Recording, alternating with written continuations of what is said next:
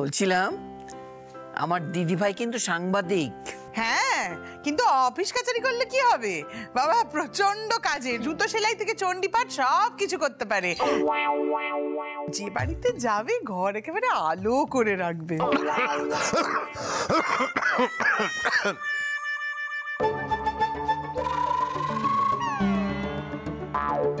ও মেজু খোকা এই শেষ বয়সে আমার তো দেখছি হার্ট অ্যাটাক হবে।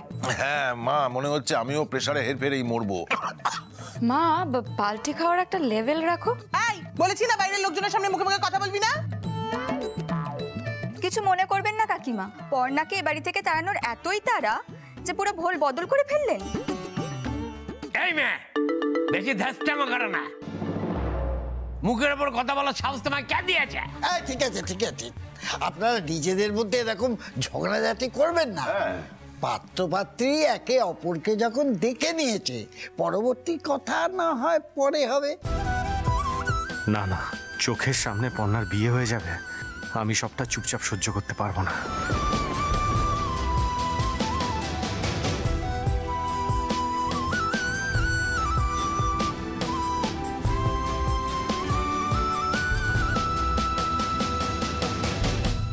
এসব কি হচ্ছে হ্যাঁ? তোমরা কিন্তু সব লিমিট ক্রস করে যাচ্ছ মা। আরে বাড়িতে কি কথা হলো না হলো তোমরা একেবারে বিয়ে পর্যন্ত পৌঁছে গেলে? ঠামি তোমার কি মনে হয়? এইভাবে দুম করে কারোর বিয়ে দেয়া যায়? পর্ণার জন্য বাড়িতে পাত্র দেখবে তার গুণগান করবে এটা কিন্তু হতে পারে না ঠাম্মি। কেন হতে পারে না দাদু ভাই তোমার সমস্যা কোথায়? ঠাম্মি আমার সমস্যা আছে। কারণ এই বাড়িটা আমারও।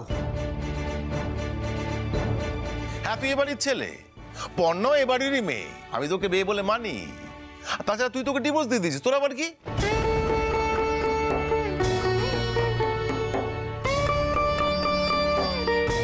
দাদা তোর যখন এতই সমস্যা তাহলে তুই ডিভোর্সটা দিলি কেন? আমার আর তোমাদের কাউকে কিচ্ছু বলার নেই। কিচ্ছু না। এই বাবু বাবু কি কোথায় যাচ্ছ নাকি? কিছুক্ষণ একা থাকতে দাও সব ঠিক হয়ে যাবে। তুমি আমার সাথে চলো। আরে চলো তো চলো। করে ধ্যাস্তামোর আঁকড়া হয়েছে ঠিক আছে বাবা। তোমরা দুজন তো দুজনকে দেখে নিলে বাকি কথা তোমার মা বাবার সঙ্গে হবে। এটা তো আমার বলার কথা ছিল। ঠিক আছে ঠিক আছে এখানে তোমার পাঠ শেষ। এবার মানিকদের গিয়ে বলো এখানে কি হলো। যাও। আচ্ছা নমস্কার। আজ আমি তাহলে আসি। আচ্ছা বেশ বেশ। চলুন আপনার এগিয়ে দিই। ইয়ে সনাতন দা বলছিলাম যে ভাবতাম আমাদের পছন্দ। তোমার দাদু ভাই তো রেগে মেগে বেরিয়ে গেল গো। আমাদের ওষুধে কাজ হচ্ছে। এবার সৃজন নিশ্চয়ই রিয়াক্ট করবে।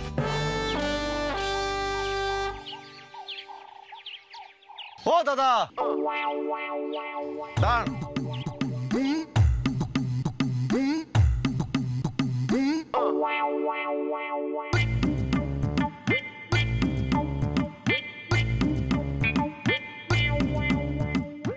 বিশ্বাস করুন আমি কিচ্ছু করিনি।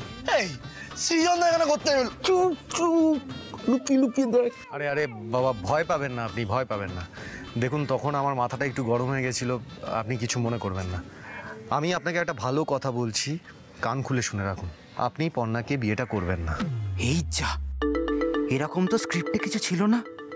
কি বলি এবার? আবুদাটা চুপ করে দাঁড়িয়েছে কিছু বল। আরে ভাই বুদ্ধি করে কিছু বল। মারবো। বিয়ে করব না মানে? দেখুন পর্ণার সঙ্গে না ঘর করা যায় না। আপনি পর্ণাকে নিয়ে সংসার করতে পারবেন না। আপনার জীবনটা না একেবারে জ্বলে পুড়ে শেষ হয়ে যাবে। আপনার মুখের হাসিটা না পুরো মিলিয়ে যাবে। সারাক্ষণ আপনার মনে হবে যে কেন আপনি বিয়েটা করলেন? সারা জীবন আপনি নিজেকে দোষ দেবেন। এই জন্যই বুঝি ডিভোর্স হয়ে গেছে।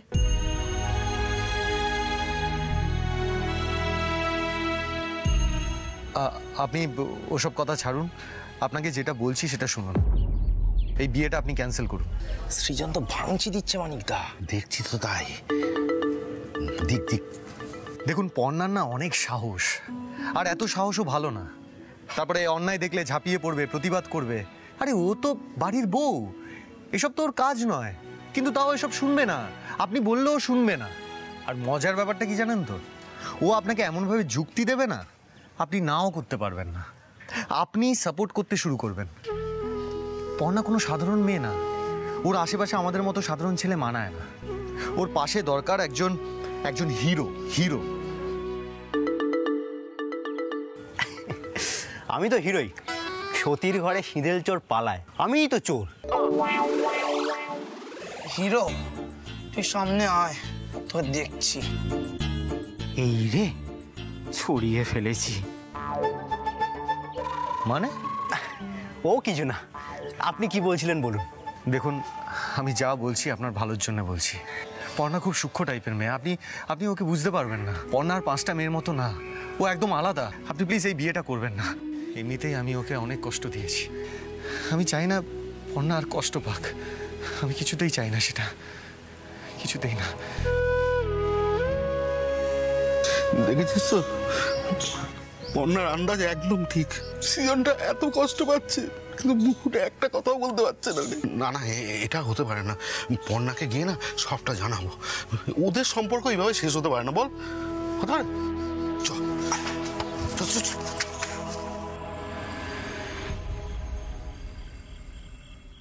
এই তো বৌদি ভাই শোনো তোমাকে কতক্ষণ ধরে খুঁজছি জানো?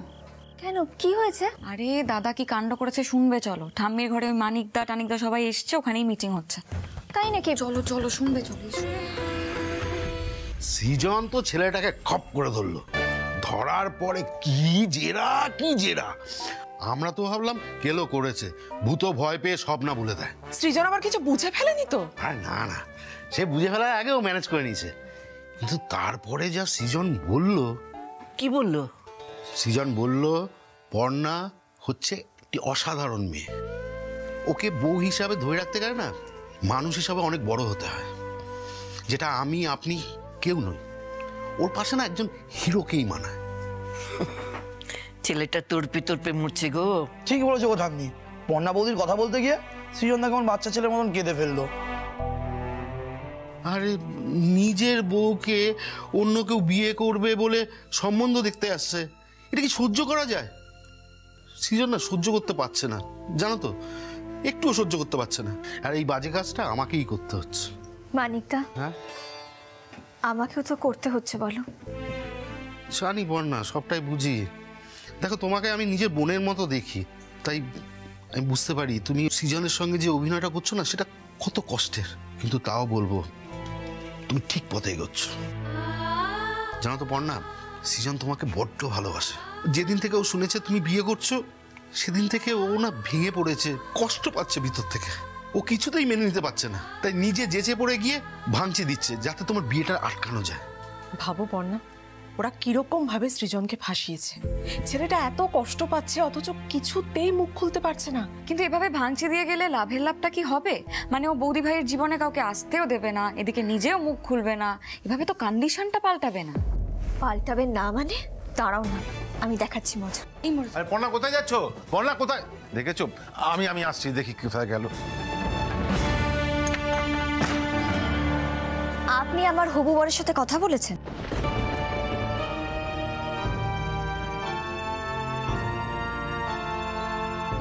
না মানে হ্যাঁ। কিন্তু তুমি কি করে জানলে? সে আমাকে ফোন করে বলল তুমি কেন কেন কথা বলেছেন আপনি? কি হলো? বলুন উত্তর দিন। আপনি তো তাকে চেনেনও না তাহলে? তাহলে কিসের কথা আপনার ওনার সাথে? তুমি আমাকে এভাবে জেরা করছ কেন বলো তো পর্ণা আমার যার সাথে ইচ্ছে আমি কথা বলব। তুমি বলে দেবে আমাকে আমি কার সাথে কথা বলব না বলব? অবশ্যই। অবশ্যই আমি বলে দেব। আমার পারমিশন ছাড়া আপনি আমার হবু হাজবেন্ডের সাথে কথা বলতে পারেন না। তাও মানতাম যদি আপনি ভালো কথা বলতেন।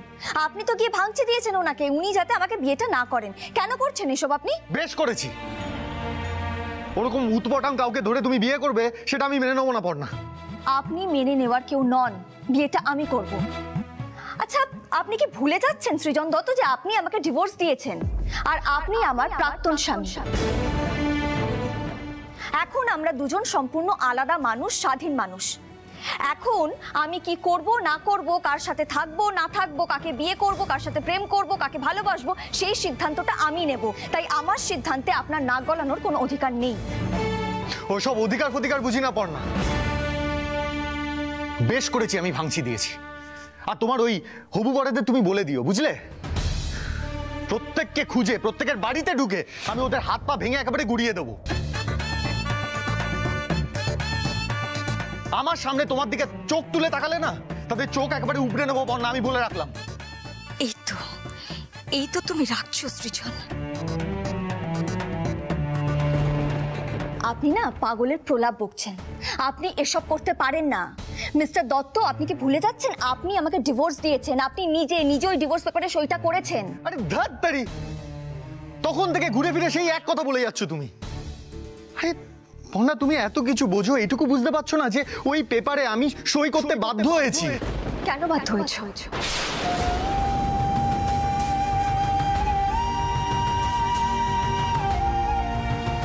কেন সৃজন কেন?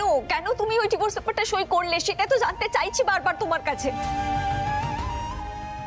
আজকে আমি তোমায় ছাড়বো না তোমাকে বলতেই হবে তুমি কেন করেছ ডিভোর্স পেপারে সাইন না হলে যে আমি অন্য কারোর সাথে ঘর বাঁধতে চলে যাব সৃজন।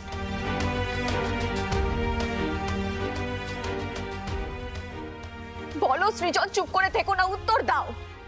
আজ তোমাকে বলতেই হবে, বলো, আমাকে অন্য কেউ বিয়ে করে নিয়ে চলে যাবে, সৃজন। এই বাড়ি থেকে তোমার চোখের সামনে দিয়ে তুমি সেটা সহ্য করতে পারবে তো?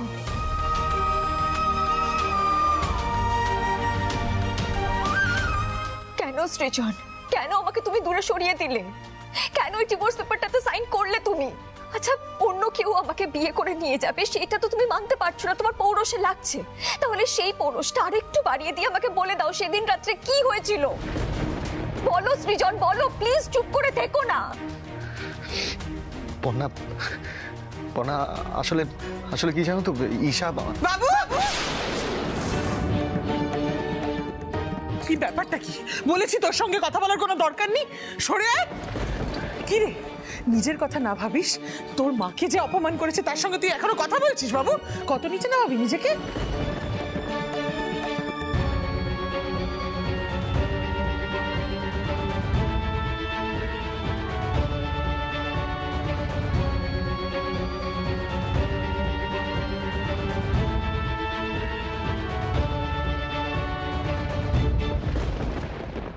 জয় মা মঙ্গলচণ্ডী।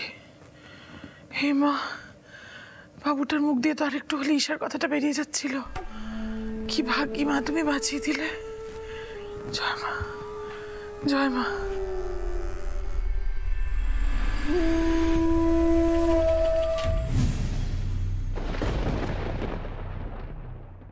সৃজন কিন্তু ভালো নেই কৃষ্ণা। সেটা নিয়ে আমি তোমার সঙ্গে কোনো কথা বলতে চাই না। কৃষ্ণা! কি চাও তুমি বাবুর বাবা? আবার একটা চর মারতে চাও আমি আমার ভুল হয়ে গেছে কৃষ্ণা। আমার সত্যি ভুল হয়ে গেছে তুমি আমাকে ক্ষমা ক্ষমা করে দাও প্লিজ। আমি ওরকম মানুষ নই তুমি তো জানো কৃষ্ণা আমি ওরকম মানুষ নই। তুমি তো আমার সঙ্গে তিরিশ বছর ঘর করছ। তোমাকে কি বোঝাবো? আমি আমি আমি ওরকম মানুষ নই আমার কিন্তু কৃষ্ণা সৃজন আর পর্ণাকে আলাদা করার এই মারণ খেলাটা তুমি বন্ধ করো প্লিজ। এতে কিন্তু সৃজন ভালো থাকবে না। শোনো বাবুর বাবা আমার ছেলেকে আমার থেকে বেশি কিন্তু কেউ চেনে না। তাই আমি খুব ভালো করে জানি যে পর্ণা আমার বাবুর জীবনটাকে বিষিয়ে দিচ্ছে। ওই মেয়েকে তো আমি বাবুর জীবনের ধারে কাছে আসতে দেব না। তাতে যদি তুমি আমাকে আরও দশটা চর মারতে চাও, তাহলে মারো। নাও, গাল বাড়িয়ে দিলাম, মারো। কিন্তু ভুলে যেও না যে পর্ণাকে আমি বাবুর বউ হিসেবে কোনোদিন মেনে নিইনি আর জীবনেও মেনে নেব না।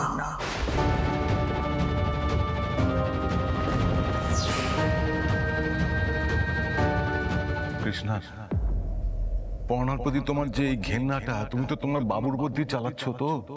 এতে তো সৃজন খুব কষ্ট পাচ্ছে। ওর ক্ষতি হয়ে যাচ্ছে কৃষ্ণা। তুমি কেন জেদ ধরে বসে আছো? এ কথা ভুলে যেও না কৃষ্ণা, সৃজন কিন্তু আমারও ছেলে। যদি কাউকে ভালোবাসা যায় কারোর দায়িত্ব নেওয়া যায়, যতই ঝড়ঝাপটা আসুক, তার হাত ছাড়তে নেই। এটা সৃজন আমার থেকে শিখেছে। হ্যাঁ? পড়নার অন্য জায়গায় বিয়ে হয়ে যাচ্ছে। তোমার ছেলে সেটা সহ্য করতে পারে কিনা দেখো।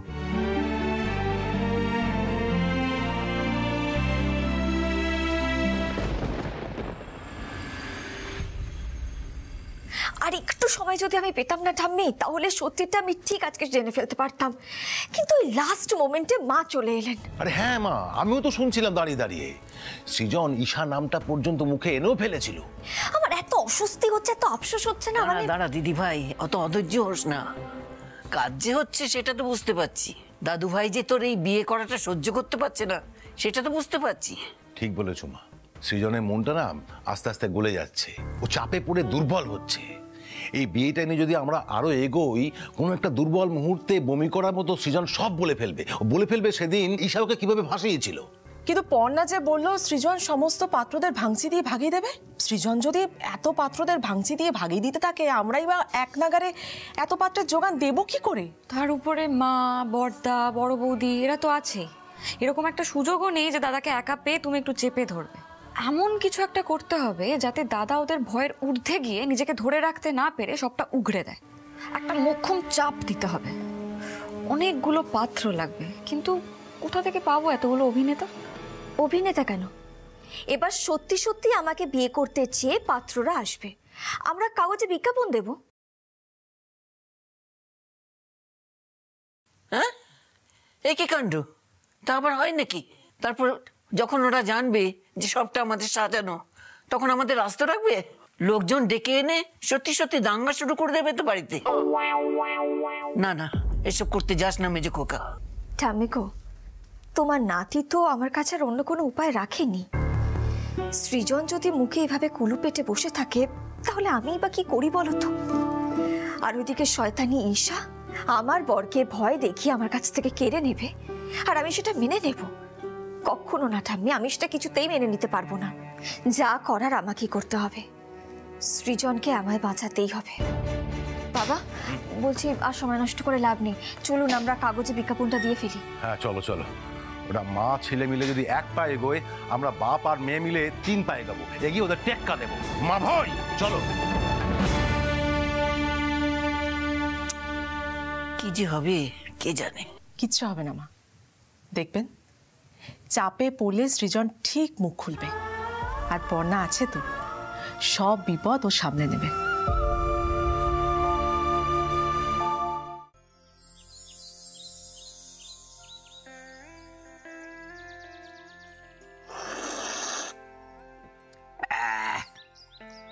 এই খবরে খবরে চোখ রাখা যায় না তো অকাদ্য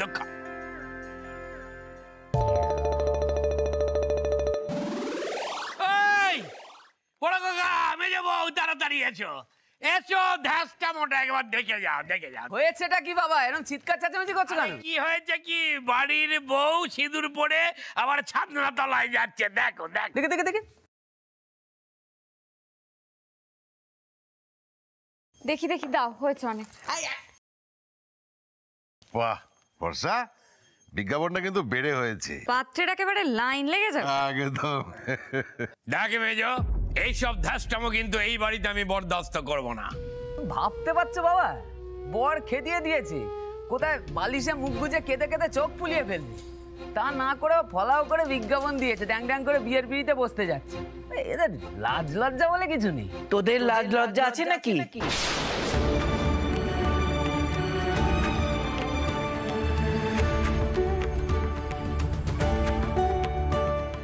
নিজের ছোট ভাইয়ের সংসার ভাঙছিস। তোরা লাজ লজ্জার কথা মুখে আনিস না রে। এসব তোদের মুখে মানায় না। এ আবার কে এলো? ও ছোট বৌমা দেখো তো কে এসছে। হ্যাঁ মা যাচ্ছি। নিশ্চয়ই দুধওয়ালা এসেছে জানেন তো? আহ, বর্দিও চলে গেল ওই বুড়ো শিবতলা। একটু আগে তো দুধটা নিয়ে যেতে পারতো। আলোকপর্ণা দেবী আপনি কোথায়? সেই সুদূর পার হতে নিশিত গগনে তারা গুনে গুনে। সারা রাত করেছি অপেক্ষা। লাইনে প্রথম আমি দাও গো দেখা। তিনি কই? তারই জন্য নিয়ে এসেছি যে মায়াবী বিবাহ প্রস্তাব। কে আপনি? আমি কবি। আমরাও আছি। আমরাও আছি। সেই কাক ভরে বেরিয়েছি ট্রেনতে উঠতে গিয়ে কাগজ দেখেই চলে এসেছি। আমরা যাব ভেতরে যাব। না না না। আপনারা ভেতরে আসুন। সবাই ভেতরে আসুন একে একে প্রবেশ করুন। এই কি করছেন কি? আর শান্ত হয় দাঁড়ান শান্ত হয় দাঁড়ান। এই খেলে লাইন ঠেলাঠেলি করবেন না। লাইন দিন সব হবে একে একে হবে। হ্যাঁ, ওরে বাবা হাঁপিয়ে গেলাম। হ্যাঁ, হ্যাঁ, হ্যাঁ, এদিকে এসো, এসো। বলছি এটা পুজো প্যান্ডেল নয় তাড়াতাড়ি এই আপদদের বিদায় করো। হুম, করছি করছি। ইয়ে দেখেছ কৃষ্ণা? আমাদের পর্ণার কত ডিমান্ড হ্যাঁ? তোমার ছেলেকে ডিভোর্স দিল কি দিল না বয়ে গেল। কোথায়? তোমার সুপুত্তর কোথায়? তাড়াতাড়ি শুরু করুন। সে কোন ভোর থেকে এসে দাঁড়িয়ে আছি ট্রেন ধরতে গিয়ে। না না এক্ষুনি শুরু হবে ইন্টারভিউ একদম শুরু হবে। আপনার শান্ত হয়ে দাঁড়ান। আচ্ছা আমরা রেডি আপনারা একে একে আপনাদের সিভি নিয়ে চলে আসুন। নমস্কার আমি রবি। আমি একজন কবি। এই আমার সিবি কবিতা লেখা ছাড়া আমি ঘরের সব কাজ জানি। আলোকপর্ণা দেবীকে আমি তুলোয় মুড়ে রাখব। নেক্সট নমস্কার। এই বায়োডাটাটা আমি কেমিস্ট্রির প্রফেসর। আমি আসলে সবেতেই খুঁজি রসায়ন। আমার আর আলোকপর্ণার কেমিস্ট্রি নিয়ে গবেষণা হবে কেমব্রিজ বিশ্ববিদ্যালয়ে। এটা কিন্তু আমি নিজের চোখে দেখতে পাচ্ছি। নেক্সট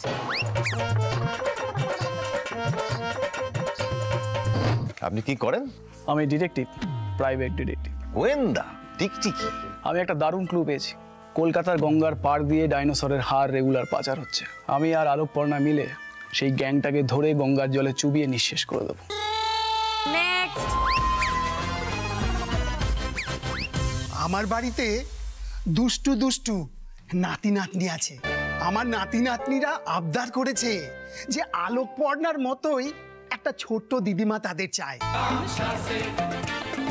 জান আপনি ঠিক আছে। নমস্কার আমি একজন বেকার। আমি চাই আলোকপর্ণা দেবী আমার দায়িত্ব নিয়ে আমাকে ঋণী করুক।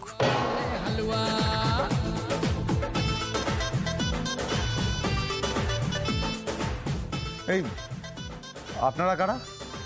এত লোক কেন? কোথা থেকে এলো? কে এলো? আরে করছেনটা কি এখানে? বাবা বসা। কি হচ্ছে এসব? এত চেঁচাচ্ছেন কেন আপনি? আমরা বিয়ে করতে এসেছি অনেক দূর থেকে। বিজ্ঞাপন দেখেন নিয়ে